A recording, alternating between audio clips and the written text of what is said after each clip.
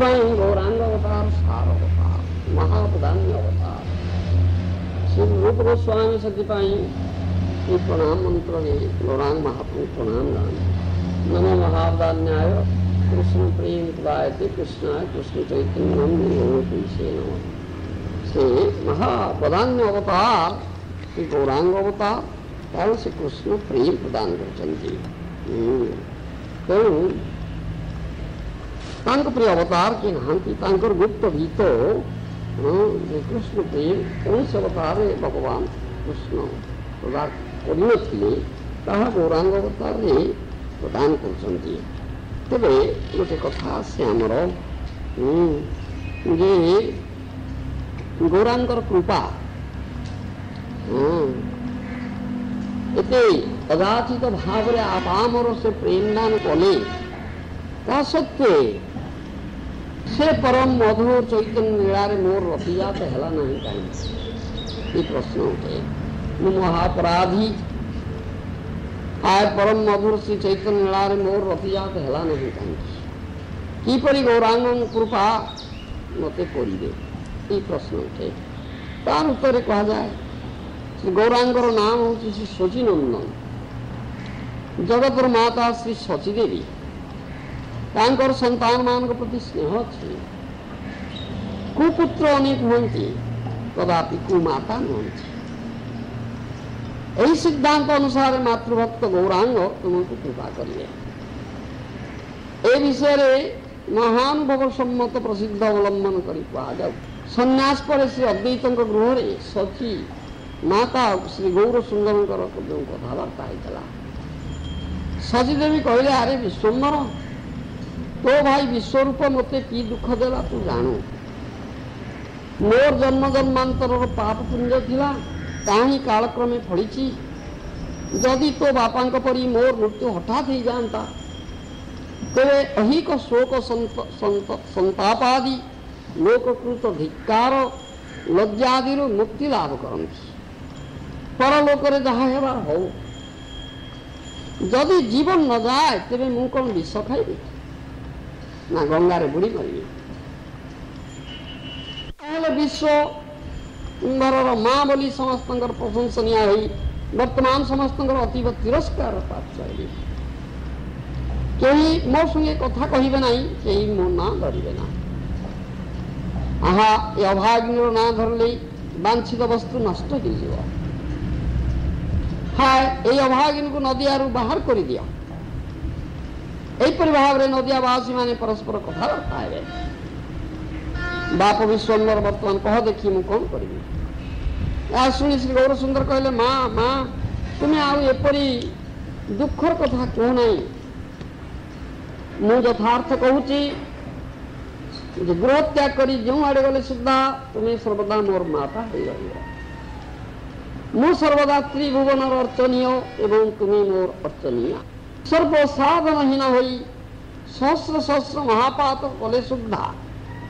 जे सचिश्रुत यही नाम कीर्तन कर से मत वशीभूत कर जे हर्षरे श्री सचिनंदन यही नाम कीर्तन करे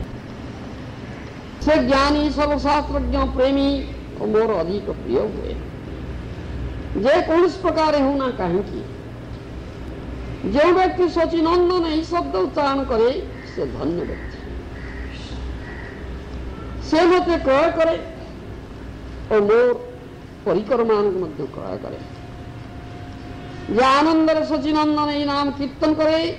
তাহার বিদ্যা ও ধন সার্থক তীর্থ সদৃশ হয়ে যে সচি অথবা সচিপুত্র বলি মতে কিংবা সচিঙ্কর বসতি স্থল নবদ্বীপ এই নাম উচ্চারণ করে সে বেদ বেদান্তী সমস্ত শাস্ত্র অধ্যয়ন করে কৌশ সময়ের যে ব্যক্তি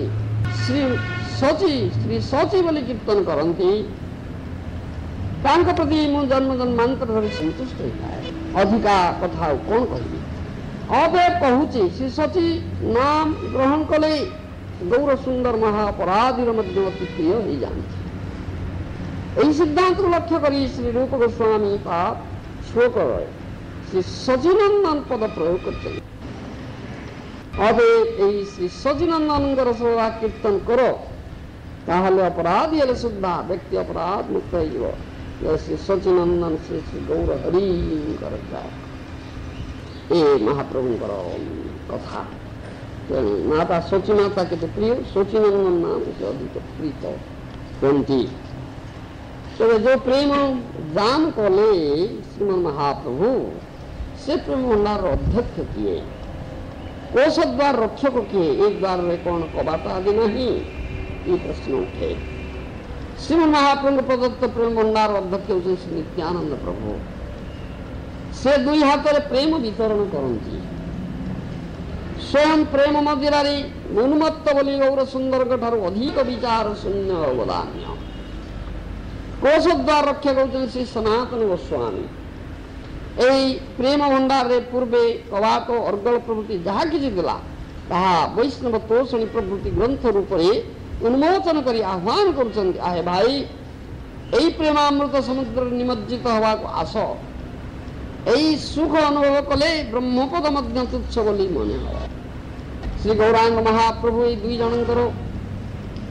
ये प्रकार स्वभाव भल भाव जाणी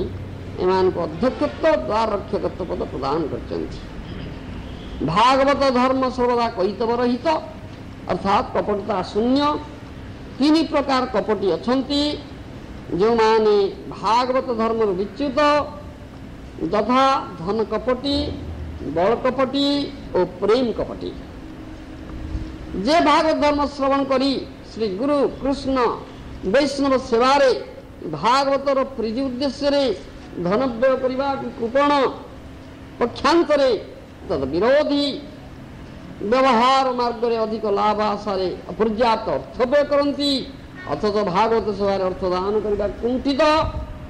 से व्यक्ति धन कपटी जे शक्ति थी कृष्ण वैष्णव कर्म जड़ बानाशक्त श्री चैत्र महाप्रभु संकीर्तन तांड नृत्य आदि करने अलस से बल कपटी पुनश्च प्रेम जात न हो भक्त वैष्णव बोले अभिमान करी से प्रेम कपटी एम कापट्य त्याग द्वारा मुहर्मुह महत्कृपारे अभिषिक्त हेले प्रेम लाभ तत्व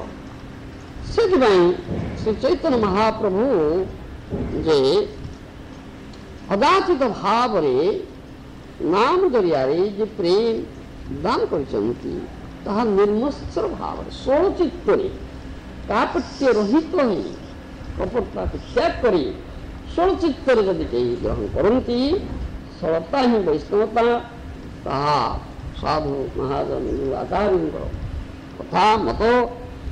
ଆଉ ସୋକ୍ତାହୀନ ବ୍ୟକ୍ତି ବା କପଟ ବ୍ୟକ୍ତି କଦାପି କିଛି ଲାଭ ହୋଇପାରିବ ନା ଯଦିଓ ଯାଚିତ ଭାବରେ ଶ୍ରୀମନ୍ ଚୈତ୍ର ମହାପ୍ରଭୁ ଏ ପ୍ରେମଦାନ କରୁଛନ୍ତି ତେଣୁ ସୋଳତା ହେଉଛି ଏକାନ୍ତ